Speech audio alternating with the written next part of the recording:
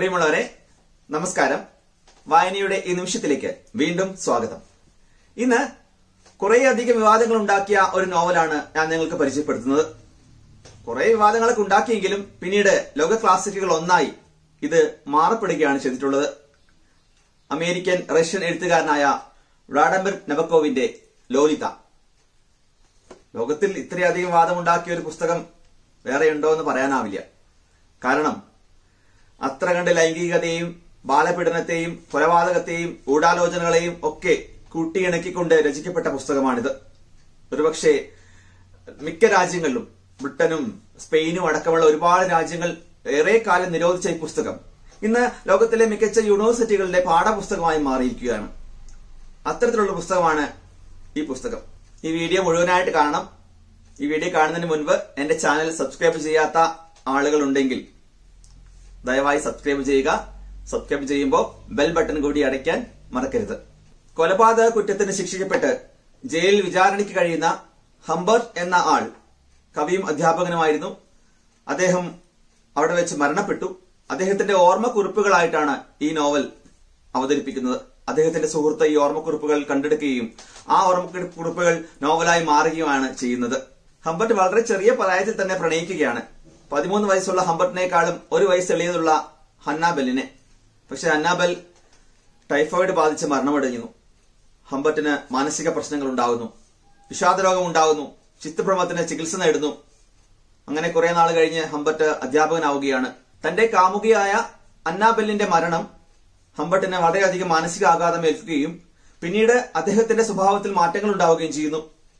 അദ്ദേഹത്തിന് ചെറിയ പെൺകുട്ടികളോട് കാമമായ അഭിനിവേശം തോന്നുന്നു. അദ്ദേഹം അമേരിക്കയിൽ എത്തുന്നു അവിടെ വിധവയായ ഷാർലറ്റ് എന്ന സ്ത്രീയുടെ വാടക വീട്ടിൽ താമസിക്കുന്നു. അവിടെ അവളുടെ മകളാണ് ലോലിത. ലോലിതയോട് അദ്ദേഹത്തിന് പ്രണയവും കാമാഭിനിവേശവും തോന്നുന്നു. വീട്ടുടമയായ ഷാർലറ്റിന് ഹംബർട്ടിനെ വിവാഹം കഴിക്കാൻ മോഹമുണ്ടെങ്കിലും ഹംബർട്ടിന് ഒട്ടും താല്പര്യമില്ല അവരെ. പക്ഷേ ലോലിതയെ സ്വന്തമാക്കാൻ വേണ്ടി ഹംബർട്ട് ഷാർലറ്റിന് വിവാഹം കഴിക്കുകയാണ്. ലോലിതയെ വശീകരിക്കാൻ ഹംബർട്ട് പല മാർഗങ്ങളും ഉപയോഗിക്കുകയാണ്. ഹംബർട്ട് തന്റെ ജീവിതത്തിൽ നടക്കുന്ന എല്ലാ കാര്യങ്ങളും ഒരു ഡയറിയിൽ എഴുതി വെക്കാറുണ്ടായിരുന്നു.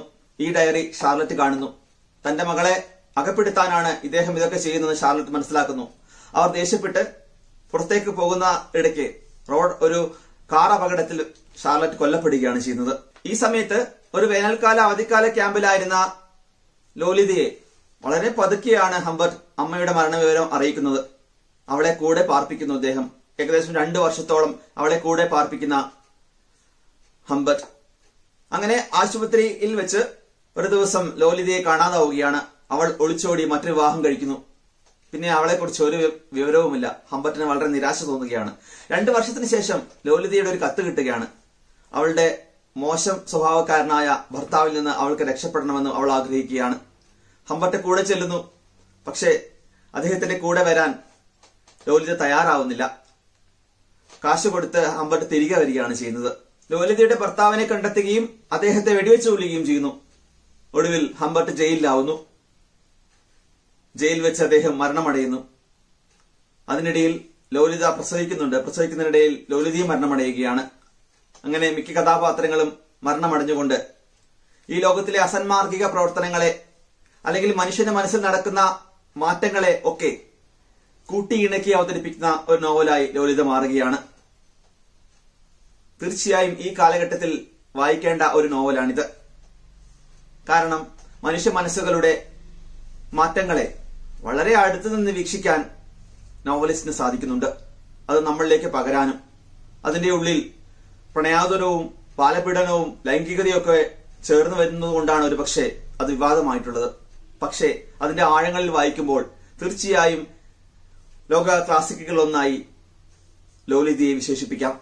ലോകത്തിലെ മാനസിക ആരോഗ്യ വിദഗ്ധർക്ക് പോലും മാർഗദർശനമായി മാറിയ പുസ്തകമാണ് ലോലിത എന്ന് വിശേഷിക്കപ്പെടുന്നു ഈ കാലഘട്ടത്തിലെ കൗമാരക്കാരെ യുവജനങ്ങളെ എങ്ങനെ നോക്കിക്കാണണമെന്നും അവരുടെ മാനസിക നിലകളിലുള്ള മാറ്റങ്ങളെ സമൂഹം അധ്യാപകർ എങ്ങനെ നേരിടണമെന്നും നമ്മളെ ബോധ്യപ്പെടുത്തുന്ന നോവലാണിത്. തീർച്ചയായും വായിക്കപ്പെടേണ്ട ഒരു നോവൽ. തീർച്ചയായും വായിക്കുക.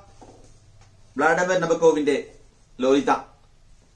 മറ്റൊരു പുസ്തകവുമായി വീണ്ടും കാണാം. അതുവരേക്കും നന്ദി. നമസ്കാരം.